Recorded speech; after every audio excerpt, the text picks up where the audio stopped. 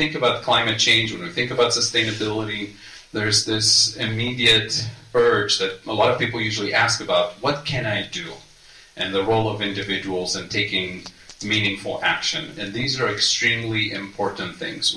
Each one of us has a role to play on an individual level, uh, at the micro level.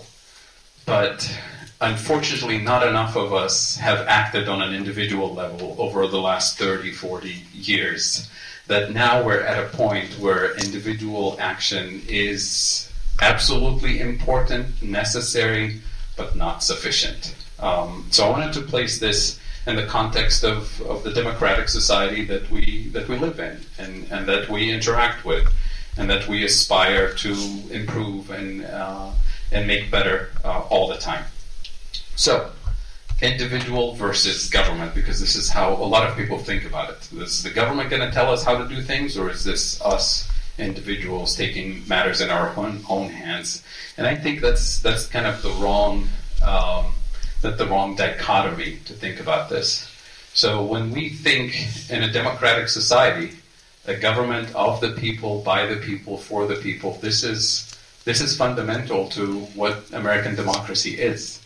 Uh, so we're not talking about a government dominating the people, telling the people what to do, and instructing people what to do. This is actually fundamentally, you know, in our hands, right, in a democratic process. So we have to own that democratic process a lot of us are familiar with with this you know reduce repair recycle and all the different iterations of this version um, extremely important to practice and implement it every step of our production transportation consumption system in our schools in our homes and in our companies in every uh, aspect of what we do. And again had we done this in a very intense, comprehensive way in the last 30, 40 years since we've known about these issues since Silence, Silent Spring, we would be in a better position today, right? And we'll have quite a few more options and maybe 50 years to spare in terms of urgency. But unfortunately, we haven't done enough of this on a systematic way.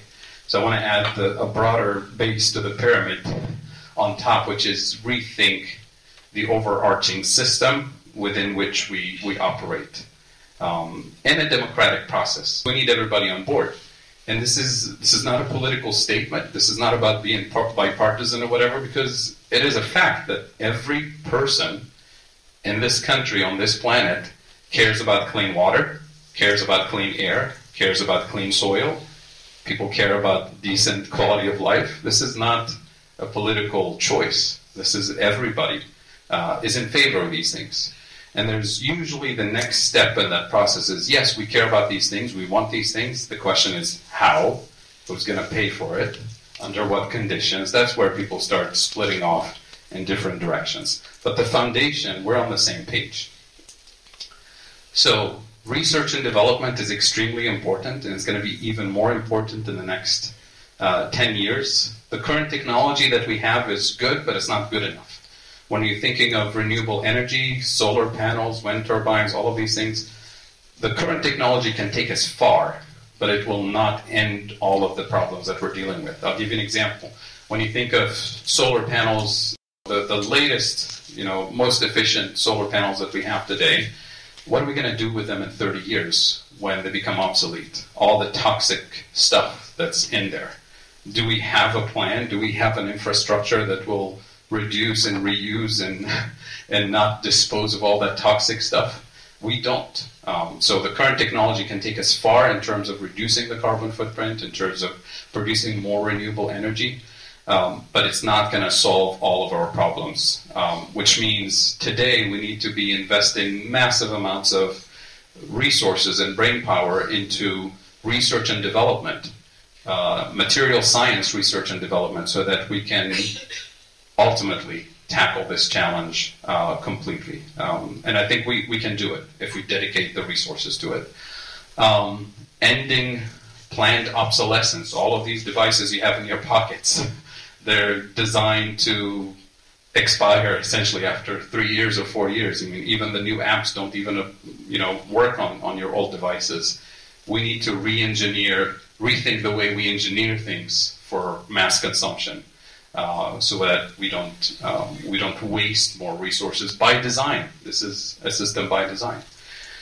Um, we need to transition into what we call a circular economy, where everything that we produce essentially comes in a little box that has. Uh, right now, it comes with a, a little, you know, document that says user manual. This is how you use this thing. It needs to come with another document that says this is my living will. This is how you're going to use me for the next several years. And then when I die, this is how I'm going to re enter the circular economy. And it's not just a piece of paper with the responsibility of an individual to take care of that piece of paper and actually do it, but we have to build the entire infrastructure for that circular economy so that it's not just your responsibility to drop it in a box somewhere, a recycling box, and then you don't know what happens to it. And that's going to create millions of jobs, it's going to create new industries. So that circular economy is truly circular in the sense that the design, the material science research that goes into the material that builds the device, all the way to the end of life for that device, and then how it re enters the circular economy again. We're not even close to engineering that system, investing the resources to do that. So that's that has to be part of the plan and that requires a lot of research and development and commitment to building the infrastructure for, for a circular economy. And then, if we commit the resources, I truly believe that the sky is the limit in terms of what can come out of this new circular economy. I'll give you an example in terms of these bold, transformative moments that we've had in our recent history. When, when JFK said we're going to send a man to the moon in 10 years, most people said this is science fiction. The scientists said it's impossible. But also the scientists said, well, if you give us the resources and we put our brain power onto this thing, we could probably come up with something. And they were not thinking GPS, they were not thinking cell phones, they were not thinking of all of this technology that we have today that came out of the space program in indirect ways. They were literally thinking about sending a man to the moon. That was the goal. But then all the research and development that was put into it created this spillover effect of technological developments that we all benefit from today. So, what was thought to be impossible, we dedicated the resources, the brain power to it, and we did it. During World War II, when FDR said, What does it take to win this war? And they told him, We need to be producing 100,000 airplanes Oh, sorry, they told him 180,000. How many can we produce now? They told him 30,000 at the most. How many did we produce when we put the resources to it? Almost 300,000. Right? So this is kind of the the American way of thinking that we need to revive, thinking big, thinking in transformative ways, and aiming with a vision towards something better and then saying, what does it take now in terms of resources and brain power and priorities to make it happen? This is what I'm what I'm proposing here.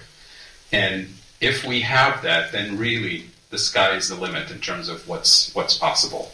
Um, so I have, you know, good news and bad news. The bad news is that we're the clock is ticking. The good news is that there's we have a shot. We have a possibility, and that's what I want to uh, lay out today.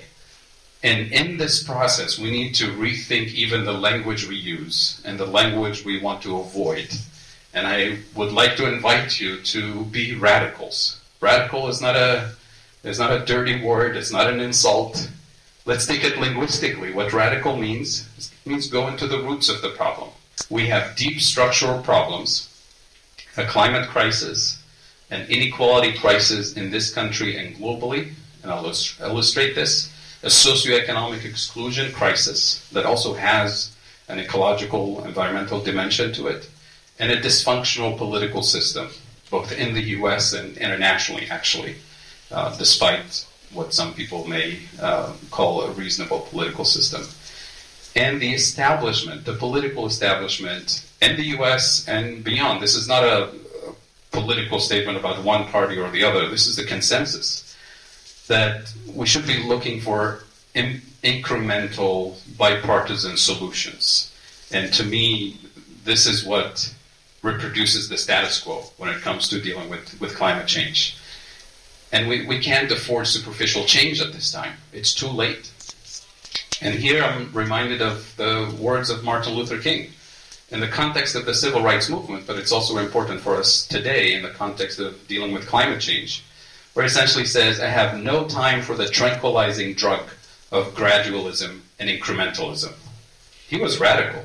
He really wanted transformative change in the context of the civil rights. So the political establishment that we're dealing with is trying to convince us that incremental solutions are reasonable or affordable. That's that's all we can do. And what I'm going to demonstrate today that this is the textbook definition of a status quo. And what I'm going to demonstrate today is that we actually have solutions that can help us design a better system, pay for a better system, without bankrupting the country, without turning the country into socialism or any of the usual things that you hear about. So this is actually within reach. This is the hope that we need to, you know, introduce the younger generation to. That this is their fight uh, to to win this planet. Temperatures, we're spiraling out of control, essentially, especially in the last couple of decades. Most scientists tell us that the two Celsius degree um, limit should be our limit. Uh, and we're already spiraling so close to that. And, that. and, that's by the end of the century. And you see the, the yellow lines there really accelerating in terms of getting closer to the 1.5 and the, and the 2 degrees. Uh, and because we haven't done anything transformative systemically to stop that or to slow it down. So anything incremental will keep that spiral going. This is the US, but I can show you pictures from other countries and globally. We have rising levels of inequality and socioeconomic exclusion. Um, that's, that's also the area where climate change affects lower income communities, communities of color, uh, more aggressively uh, in, in, this, in this sense. I want to emphasize this one picture about inequality to make the case that this is really dangerous, destabilizing for the democratic process. Because we can't think of dealing with climate change without thinking of the democratic process. So I'm trying to link these pieces here. This is a, a bit complicated, but I'm going to simplify it for you. All right. Every time we go through a recession and then we recover from the recession, we want to look at who gained from the recovery. Was it the top 10%, the wealthiest 10%, or the bottom 90% of the population? So this is what, what it is. The blue bars, that's the bottom 90% of the population in the US. The red bars, the richest 10%. And it used to be the case in the you know 50s, 60s, 70s, well, not so much the 70s. It used to be the case that most of the gains from a recovery after recession go to the bottom 90%, which is what you would expect. That's reasonable. But then over time, you start seeing the blue bars declining steadily heavily and then going negative. This is the recovery. This is not the recession. This picture here is the recovery from 2009 to 2012.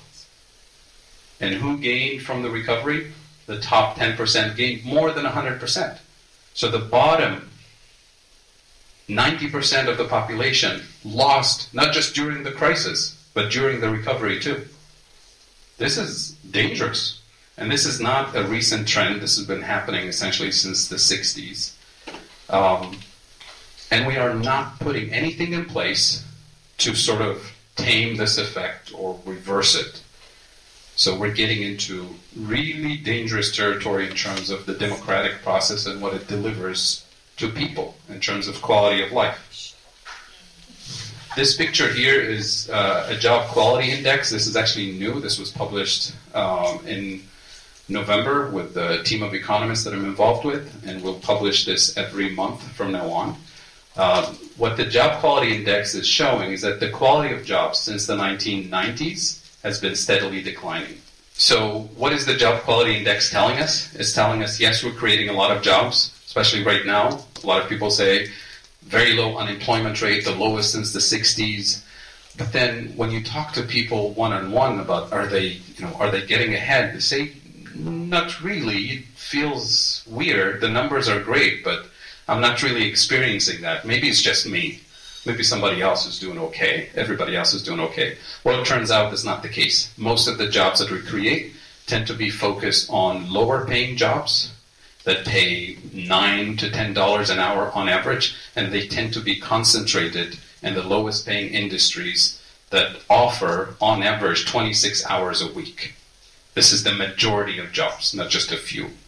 So we have something, something's fundamentally off with the way we're running the economy. And that's obviously feeding into that inequality picture where a lot of people working, working multiple jobs, but the pay is not there. The level of income required to sustain a decent living is not there. And that is dangerous economically, unsustainable economically, but also unsustainable in a democratic society. So we have all these features that are really working against the democratic system that we want to protect and enhance. If you're interested in this, uh, jobinequalityindex.com is where you can see all the information. This is global. In 2015, 80 people owned more than 50% of the wealth in the entire planet. 2016, it's 61, then it's 42, then it's 26, and very recent, and soon we'll get the numbers for 2019. I guarantee you it's going to be less than 26. And then what is it going to be in five years and 10 years? One person? And then beyond that. So this is not recent. This is a constant trend globally, nationally, and it's very unsustainable from a moral standpoint, environmental standpoint, economic standpoint, you name it. And it's not working in favor of enhancing democracy. Uh, zooming in on Franklin County, this data is from uh, if you Google the MIT Living Wage Database or Living Wage Calculator, you can get this for any county in the United States. I just picked Franklin County. To this day, I didn't find a single county in the US where the minimum wage is actually a living wage. So, what, what the MIT uh, team does is they actually look at every county, they look at the cost of living. What does it take to, you know, for a family of two, family of three, to rent a house or an apartment, to buy food, transportation, health, all of these things. They actually look at the local cost in your county and they construct a way to identify what should be a living wage. And, and they give us this for you know families of different sizes with one parent working, two parents working, and so on. Uh, so this is where you will you will find it. So I encourage you to look up your own county and if, please, if you find that your living wage uh, is meeting the minimum wage in, in your county, let me know because I haven't found a single one yet. Uh, and this is for larger families and so on. And then they break it down by cost of living. This is also for Franklin County. And it's no surprise, it's the things that people usually uh, talk about, feel in their pocketbook every month. It's healthcare, it's childcare, it's transportation, it's uh, cost of heating and energy and so on. Um, so these are things that people feel and experience, but then the unemployment jobs numbers feel like, oh, the economy is doing great, so there must be something wrong with me, maybe uh, in particular, but the system as a whole is fine. And what I'm trying to argue here is that we have a systemic problem, it's not an individual problem. And this is for larger families too. So we have the three pieces of the puzzle on the table people want to work, the planet is on fire, and that would involve a lot of work, and we have the technology to at least put a significant dent in this thing. We're not saying we can end it with existing technology, but we're told we can't do it for some reason because the big question is how are we going to pay for it? And it's because of the usual answers that we're accustomed to. You know, we're told the government doesn't have money. We're told the rich will never pay more taxes to pay for all of this. We're told that if we borrow from China, we'll go bankrupt and we'll turn the country into Venezuela. We'll have hyperinflation. All the usual things that you hear about spending too much money will break the economy, right? And what I would like to argue is we're going to call their bluff because there is a way, and we've done it before, and we actually do it all the time when we set the priorities straight. And what I'm arguing is that the priorities that we have right now are not the right priorities. Let me take you back to World War II. How did we pay for World War II? World War II came after the Great Depression. the most miserable time in US history. There was no money to be taxed, there was no money to be borrowed. That was the Great Depression. And then we transitioned immediately into the most expensive government spending program in the history of the US, funding World War II. Where did the money come from? There was no money to be taxed, there was no money to be borrowed during the Great Depression and right at the beginning of the war. Where did the money come from? The money came from the federal government, the same way the federal government spends on anything.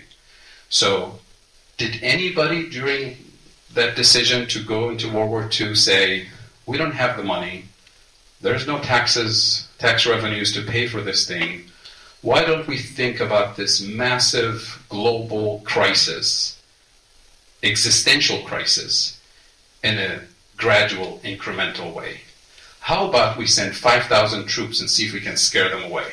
We'll send them 10,000 troops every week, see if we can scare them. Of course, that would be ridiculous. How do you win a massive war in a gradual, incremental way? That was not even on the table. The obvious solution was a massive intervention immediately. Where did the money come from? Well, the way the federal government spends is very different than the way the state of Ohio or the city of Columbus spends, or you and I spend at home.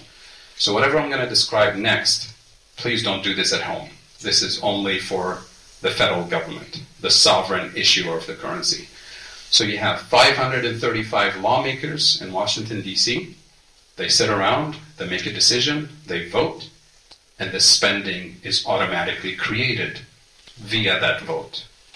So the decision was we're going to win this war, we're going to enter this war, and we're going to spend whatever it takes to win this thing. So the spending happened via what we call government spending money into existence. Some people like to call it printing money but it's not always necessarily printing money. Definitely not today. We don't print money in the same way usually people think. So, we're spending tons of money hiring thousands and thousands of people all over the country to build for the war effort. And we're paying them decent wages. And it's a free country. They can do whatever they want with their income. So the spending already happened. The concern that the government had at the time, and the concern that we should always have, is what do people do with that spending, with that money? They're going to buy cars, they're going to buy houses, they're going to buy clothing, entertainment, whatever it is. It's a free country, it's their money. So, what did we do during World War II?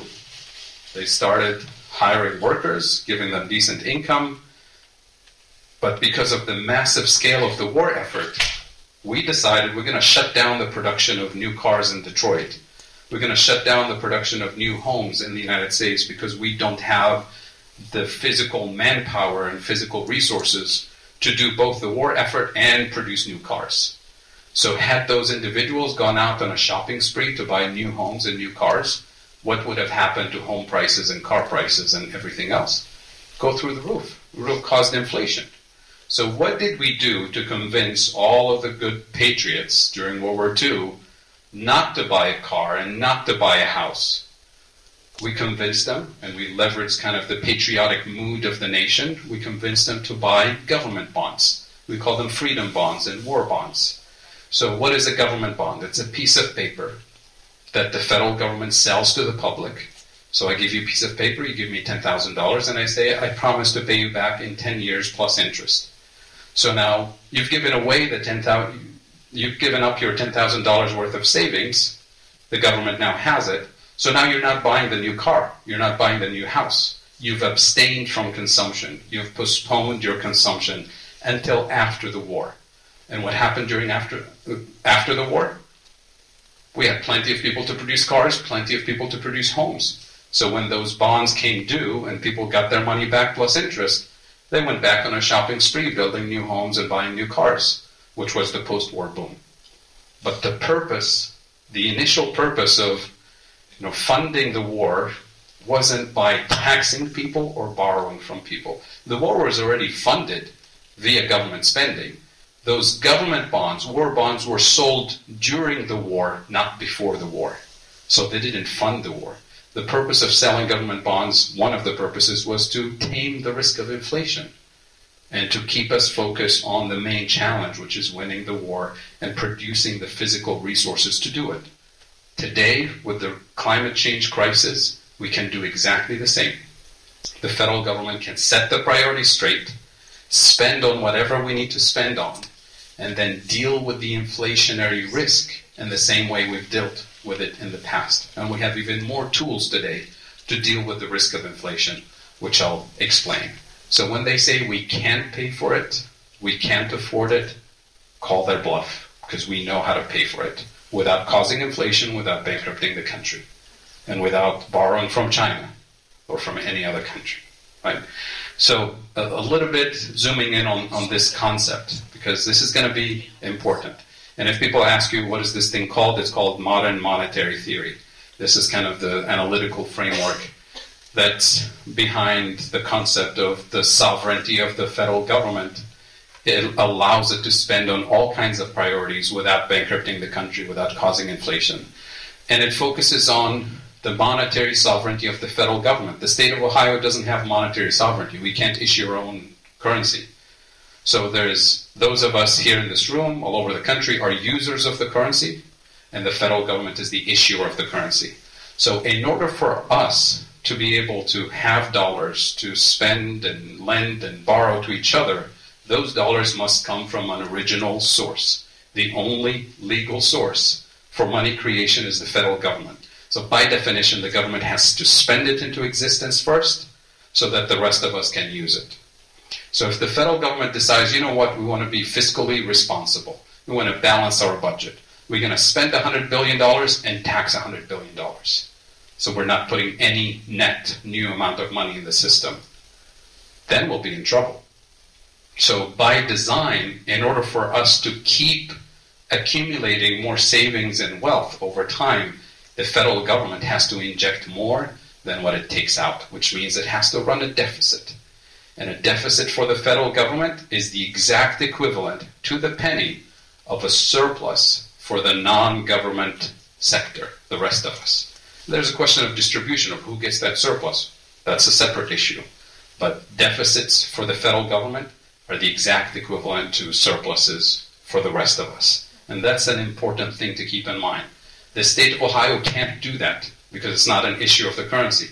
You and I have to work hard, earn an income first, then spend it.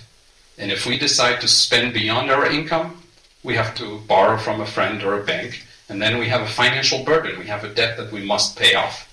The only way to pay off your debt as an individual or as a city or as a state is to work harder, spend less, earn more, or both to pay off your bills. The federal government doesn't operate in that space at all. It's the sovereign issue of the currency. Its responsibility, actually, is to spend more than what it takes out of the system so that the rest of us can accumulate wealth. The question is what to spend on and what are the priorities. These are at the center of the debate. It's not about how much tax revenues can the federal government generate in order to pay for clean technology and clean energy and better schools and better transportation. That's not the right question. The right question is what are the priorities? Let's have the government spend on those priorities and then figure out the risk of inflation and, and beyond. At the state level, we can't think that way. We can't operate that way. This is the responsibility of the federal government. Not all countries have monetary sovereignty in the same way we talk about in the United States. So you have countries like Venezuela, countries like Greece, all of these countries have no to very little monetary sovereignty. Why? Because their debt is denominated in foreign currencies. They borrow and promise to pay back in dollars or euros or other foreign currencies. In the case of the US, a monetary sovereign government issues its own currency, check, the US creates the dollar. It taxes in the same currency, check, all taxes on April 15th are to be paid in US dollars. And then number three is very important. You only issue bonds denominated in the national currency. The entire US national debt is denominated in US dollars, not in any foreign currency. Whereas countries like Venezuela and Greece and most developing countries, they borrow and promise to pay back in a foreign currency, and that's where they lose monetary sovereignty. And most countries, developing countries, have what we call a fixed exchange rate. So they fix their currency to the dollar or to gold or to the euro. And when they do that, they lose monetary sovereignty. The US doesn't do that. The US has full monetary sovereignty, like Japan, like Canada, like the UK. These are countries that enjoy full monetary sovereignty. So those countries with full monetary sovereignty are here. Countries with no monetary sovereignty, like Ecuador, doesn't even have its own currency. They use the US dollar, completely dollarized. And then most developing countries are kind of in between, depending on how much external debt they have. So today I want to focus on countries that have full monetary sovereignty. And these are the countries that should take leadership immediately, should have, should have taken leadership years ago with massive commitment to dealing with climate change and investing in sustainability. So we have important distinction between issuer of the currency and the users of the currency. You and I can't do this at home. The state of Ohio can't do it. Yes, we have a role to play in terms of you know, reducing our use of uh, fossil fuels and conserving energy and, and being responsible as individuals. Cities have a role to play. You know, small, you know, low-hanging fruits. You know, switch all your light bulbs to LEDs, and you'll save a lot of energy. You'll save a lot of fossil fuel consumption. Improve the transportation system. Improve, you know, weatherization of buildings. These are small, you know, low-hanging fruits that we all can do. Cities and states and municipalities. But the big structural transformative things are not affordable for cities and states and local uh, um, um, you know actors so to speak but it has to be transformative. So key implication of this monetary sovereignty a government budget is not the same thing as a household budget. That's why i keep saying don't try this at home. A government deficit equals the non-government sector surplus so the government has the responsibility to run a deficit so that the rest of us accumulate wealth. Government spending is not constrained by tax revenues. We're used to thinking of taxpayers' money at the city level, at the state level, because we say it all the time. We pay taxes so we can fund the schools. We pay taxes so we can have the police and fire departments and infrastructure. It's true at the state and city level, not true at the federal government. Remember World War II? we didn't pay for it with taxes. There was no money to be taxed, right? So at the federal level, it's very different. But we're not saying that federal government spending is not constrained at all. We're saying it's not constrained by taxes. So what is the real constraint to government spending, federal government spending? The real constraint is the risk of inflation.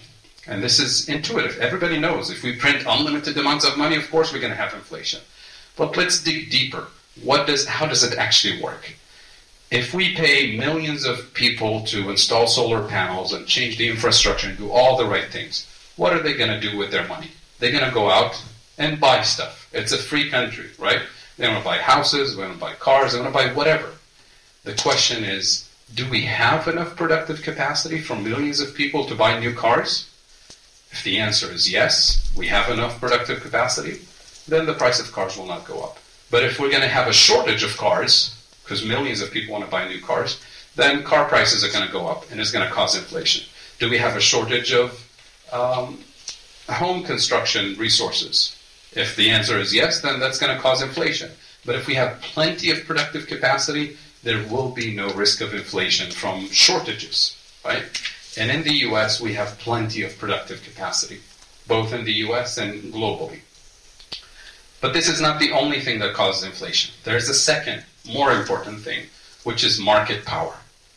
In some key areas of the economy, you have some key price setters who can set prices higher just because they can, and just because we let them. Because remember, the, the role of lawmakers is to regulate the system.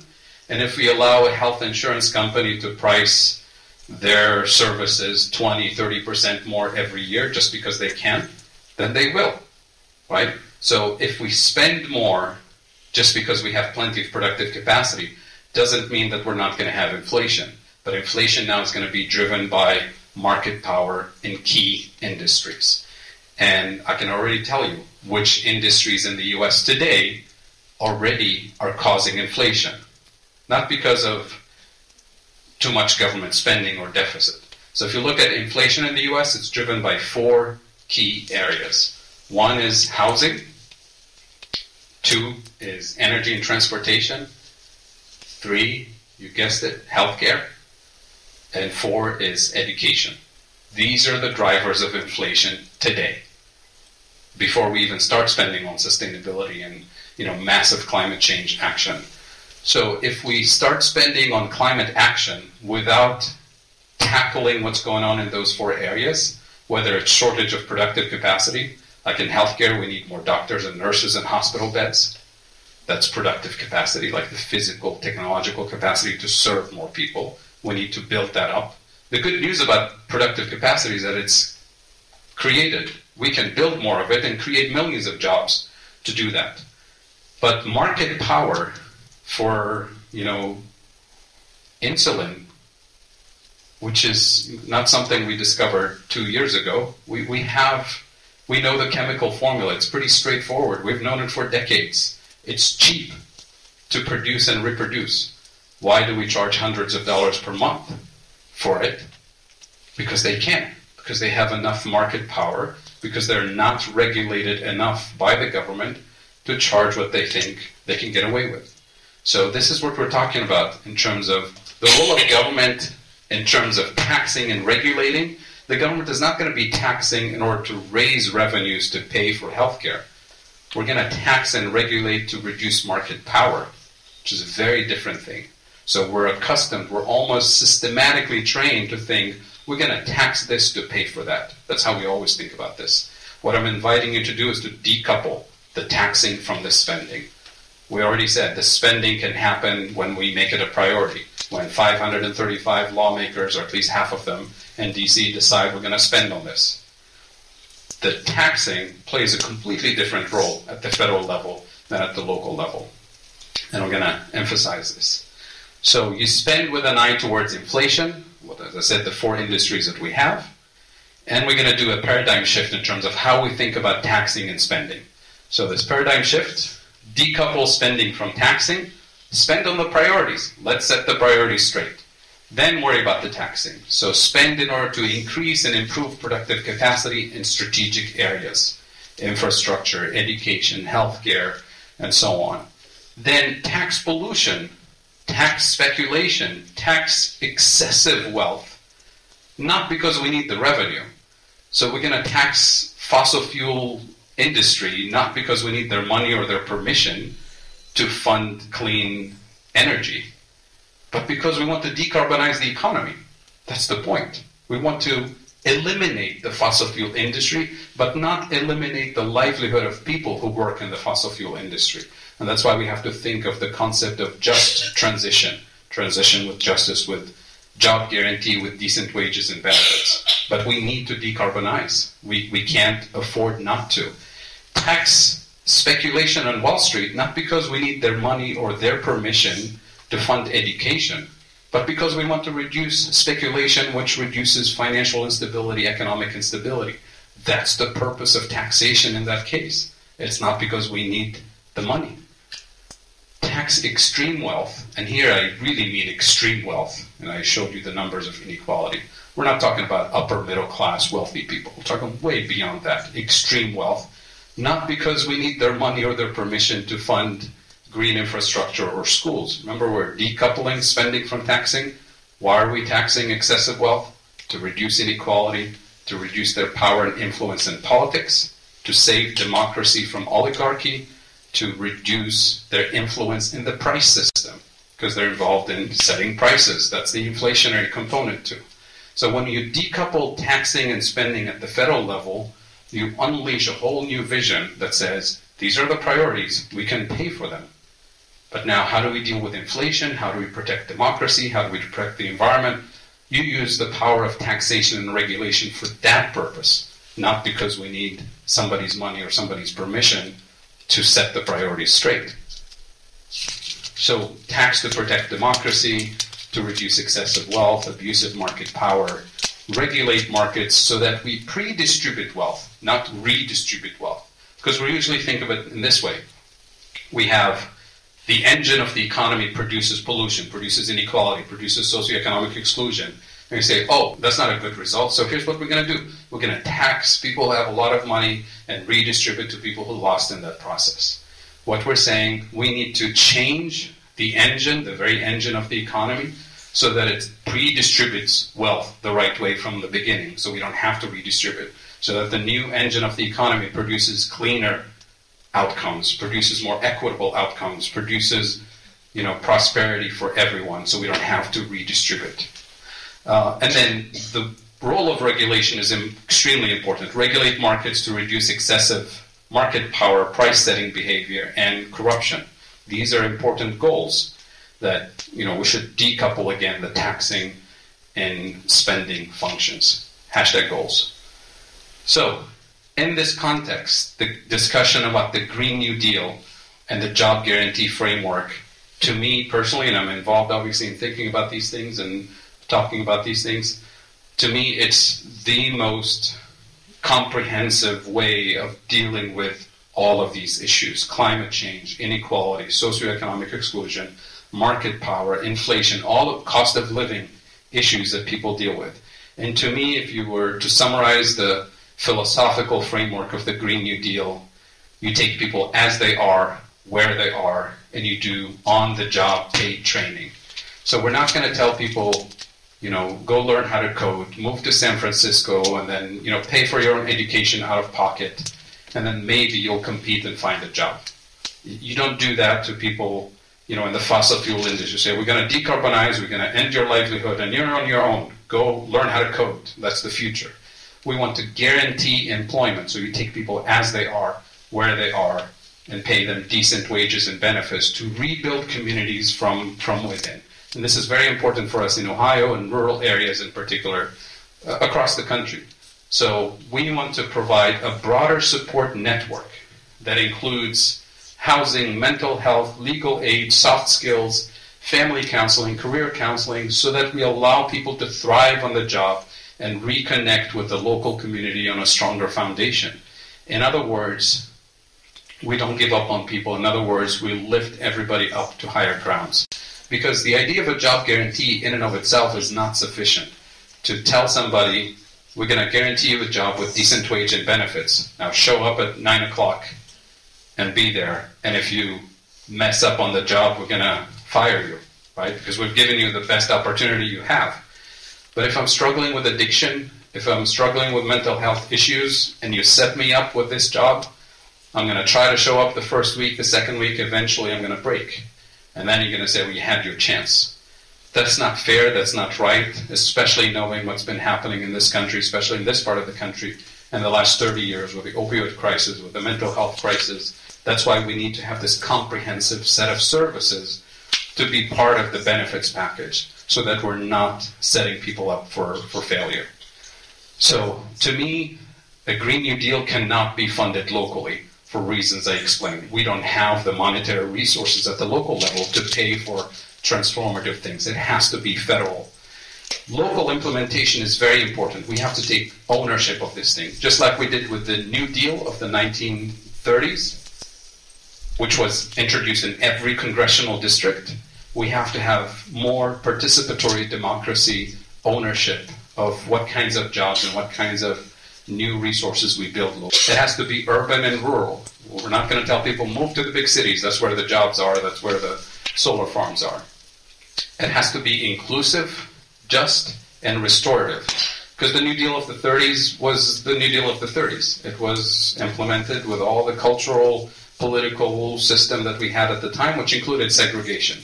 So it was not inclusive we should not repeat obviously the same mistakes. It needs to be inclusive, just in the in the sense of just transition for people who will be displaced from the fossil fuel industry.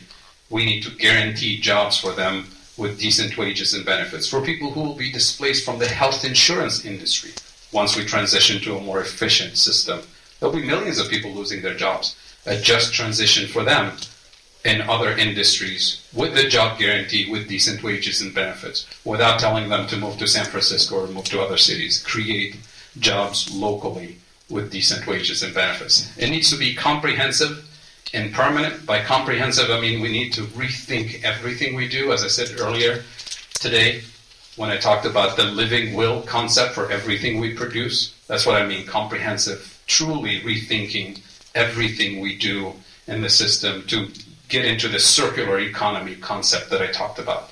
It needs to be permanent. This is not something that we try for five years or ten years, say, we've dealt with climate change, now let's go back to normal. This has to be a new world of this circular economy. The good news is that these are very popular ideas for Republicans, for Democrats. This is the job guarantee. It's the most popular, and this is from a year ago. I think there's new polling that's showing that it's even more popular today. The idea of the Green New Deal is even more popular across the board for Republicans and Democrats because fundamentally people want clean air, clean jobs, uh, good paying jobs, clean water, clean soil. These are things that everybody wants, except the people who sort of hesitate or reject it are usually thinking, how are we going to pay for this? Are you going to tax me? So then my, you know, income is on the line. Are you going to tax my employer, which means my job is on the line? This is where the fear comes in. And what we're saying here, no, no, no, no. We're decoupling the spending from the taxing. We're not going to tax local districts and local states and municipalities to pay for this. We're going to do this the same way we did World War II, the same way we paid for the moonshot. But can we afford it? Yes, we can, I would argue. Remember, somebody said, yes, we can many years ago, and then he said, no, we can't because we don't have dollars. We run out of money. That was President Obama. Can we afford this? We need to change the narrative. We need to shift the conversation. Is this affordable? Is this affordable? And this is everywhere. Is this affordable? Can we afford this? This this is a friend of mine actually sent me pictures a month ago. This is her neighbor bathing her child in Pennsylvania, and the water turned brown. And she immediately snapped a picture, and of course took her child out of the thing. This is, to me, this is a crime scene.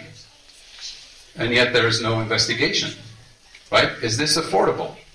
They spent thousands of dollars trying to fix their water system, put filters, you know, dug a new well, nothing worked. This is across the board. Can we afford this? These are the fires in California, the floods in the Midwest. I grew up in the Middle East. This is the Middle East in the summer. And scientists are very clear now. They're saying within our lifetime, this region will be uninhabitable during the summer months. So we're talking about 500 million climate refugees. So people who are panicking about Syrian refugees, just wait until this hits. And this is global, this is not just the Middle East. Can we afford this? Can we afford to wait for these disasters to keep accelerating? I don't think so. The good news is that everything that I'm proposing in terms of these massive transformative things, they're actually pretty cheap compared to this. We just don't have the right metric. We're using the wrong metric. So most economists and policymakers, they talk about economic growth is the important thing. We need fracking because it brings jobs and creates income. So what is GDP, which is when they talk about economic growth, gross domestic product? GDP measures the total dollar amount of all goods and services produced annually. And it's been growing. You know, occasionally we hit a recession here and there, but it's essentially very clear we have economic growth because that's the goal we pursue. But remember, growth is not always a good thing. It's very funny. Economists are obsessed with growth, policymakers are obsessed with growth. But if a friend told you I went to the doctor and after they did the test they told me there was growth, what do we how do you react? It's a disaster. It's a dangerous thing. And yet we have this thing about economic growth being okay.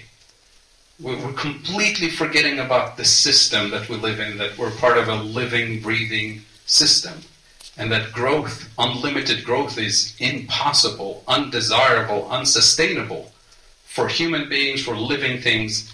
And it's because we are measuring the wrong thing.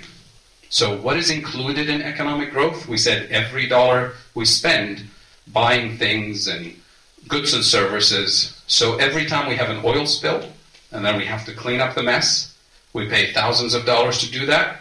That shows up as economic growth. That shows up as a positive thing. Every time we build a prison, it shows up as economic growth. And it gets celebrated on TV. They say, yay, economic growth, 3% more this quarter. But is that improving our quality of life? Every time we breathe polluted air, we drink polluted water, we go to a doctor for breathing treatment, we buy prescription drugs, we pay for cancer treatment, economic growth. That gets celebrated on TV because we're measuring this thing called growth. So, what some ecological economists did, they said, okay, let's take this GDP thing and let's remove all of these negative things from it and see what's left.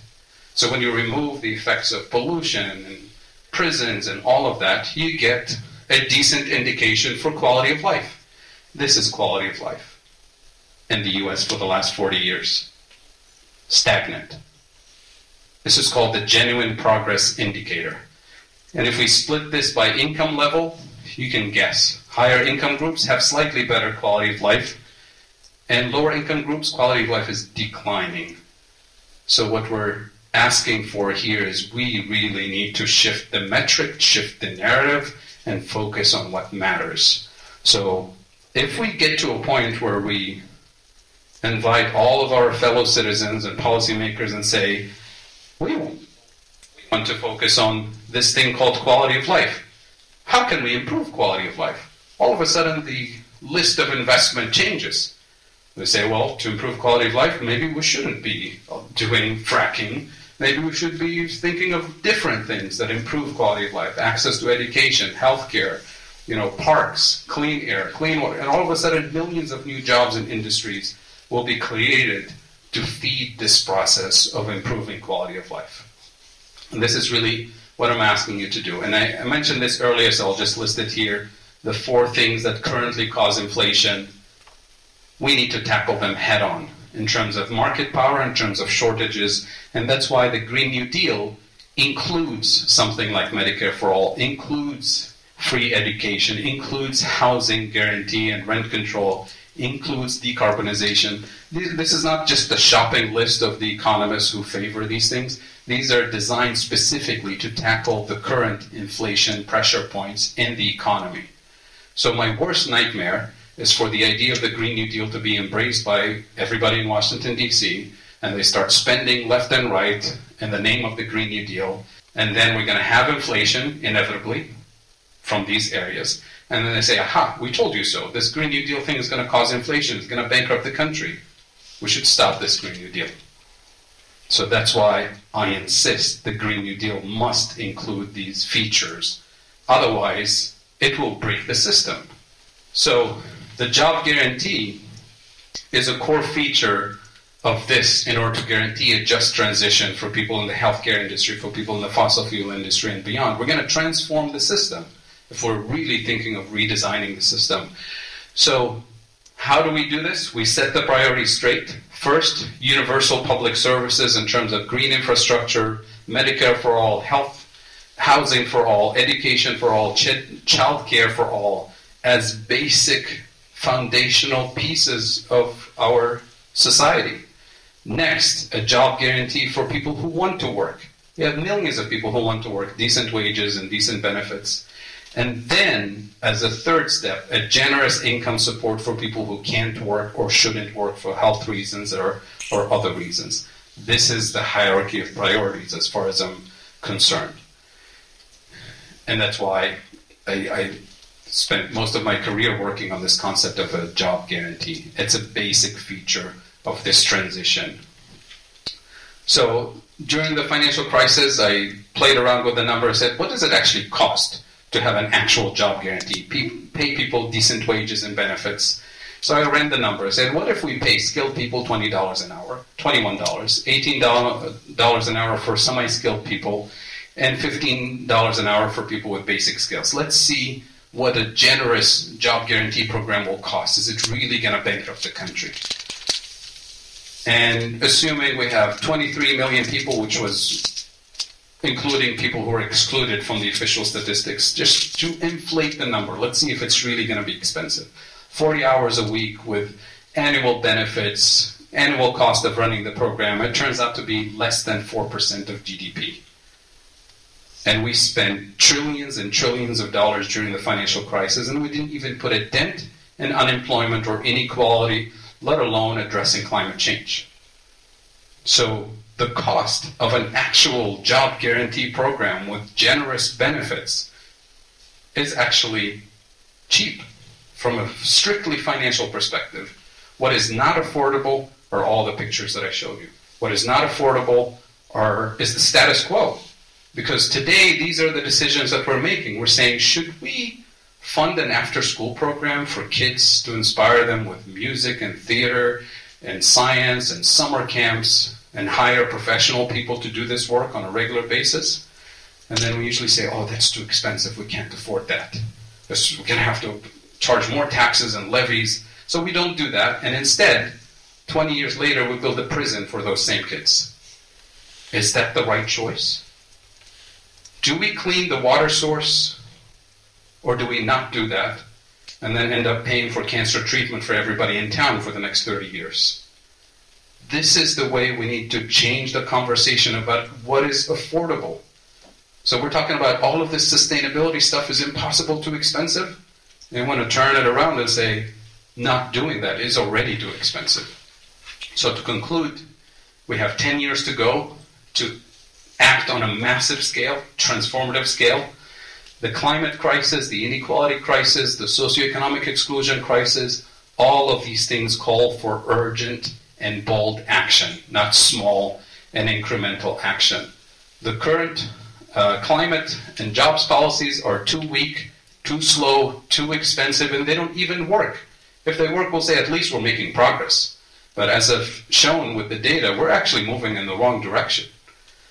So, economic justice and climate justice via a living wage Green New Deal are possible, desirable, and affordable. Yes, again, we need individual commitment to these things, but if we want systemic change, then every individual needs to empower themselves with this knowledge that says a government for the people, by the people, of the people can transform the system from a systemic way. So each one of us on our little scale, we can do positive things, but the most transformative thing we can do as individuals is to embrace a vision that's truly transformative. And I hope I was able to convey this that this is not a pie in the sky, this is within reach. We've done this before, we can do it again. Thank you.